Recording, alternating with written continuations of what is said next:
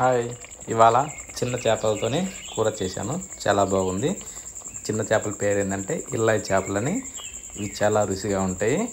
ముళ్ళు ఉండదు తక్కువ ఒకటే ముళ్ళు ఉంటుంది ఈ విధంగా చేసుకుంటే చాలా బాగుంటుంది. మన కిచెన్లోకి వెళ్దాం. ముందుగా రోళ్ళు కడుక్కునేసి ధనియాలు జీలకర్ర మెంతులు ఇవన్నీ ఏంటంటే మెత్తగా పౌడర్ చేసుకోవాలి. ఈ విధంగా పౌడర్ చేసుకున్నాక కొద్దిగంత చెక్క లవంగ అల్లం ముక్కలు పచ్చిమిరపకాయ ముక్కలు వీటిని కూడా వేసేసుకునేసి బాగా దంచుకోవాలి. ఈ విధంగా దంచుకున్న దాన్ని తీసి ఒక ప్లేట్లోకి వేసుకుందాం. అదే రోట్లో ఏంటంటే ఎర్రగడ్డని కొంచెం పెద్ద ముక్కలుగా చేసుకునేసి అందులో వేసి మళ్ళా వెల్లుల్లిపాయలను కూడా పొక్కు తీసి అందులో వేసుకునేసి ఈ విధంగా కచ్చా పచ్చగా దంచుకునేసి దీన్ని ఒక ప్లేట్లోకి తీసి వేసుకుందాం ఇప్పుడు ఒక బౌల్లోకి నీట్గా కడిగి పెట్టుకున్న చేపలను తీసుకునేసి అందులో పసుపు సాల్టు కారం కొద్దిగా నూనె ఇవన్నీ వేసుకునేసి బాగా మిక్స్ చేసుకోవాలి.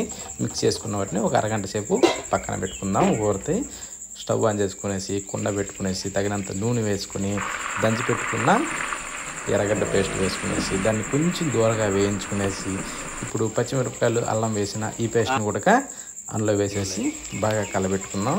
ఇప్పుడు ఏంటంటే అడుగు మాడకుండా చూసుకోవాలి.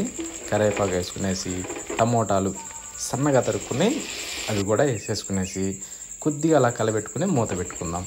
మూత తీసేసి కారం నీళ్ళు ఇవి రెండు వేసినాక కొద్దిసేపు కలబెట్టుకోవాలి.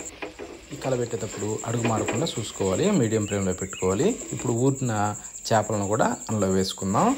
వేసుకునేసి ఇప్పుడు వీటిని కూడా లైట్గా కలబెట్టుకోవాలి. ఎక్కువ సిదిరిపోయేటట్టు చేయకుండా. ఓకేనా ఫ్రెండ్స్? ఇప్పుడు దీంట్లో ఏంటంటే కొద్దిగా వేగాయి కదా. మూత పెట్టేసుకునేసి ఇప్పుడు మూత తీసినాక కొంచెం నీళ్ళు యాడ్ చేసుకుందాం. ఇప్పుడు కొద్దిగా రుచికి సరిపడా సాల్ట్ కూడా వేసుకునేసి ఈ విధంగా తిప్పుకొని మూత పెట్టుకోవాలి.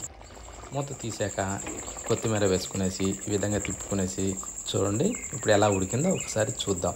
చూడండి చేప ముక్కలు కానీ సూప్ కానీ మంచి చిక్కగా గ్రేవీగా కలర్ఫుల్గా ఎంత బాగుందో చూశారు కదా? చూస్తుంటేనే నోరుతులా తప్పక రుచి చూడండి. ఎవరు కూడా మిస్ కావద్దు. చాలా అంటే చాలా బాగుంటుంది ఫ్రెండ్స్. ఓకేనా? థ్యాంక్ యూ వీడియో ఆఖరి వరకు చూసినందుకు మీకు ధన్యవాదాలు.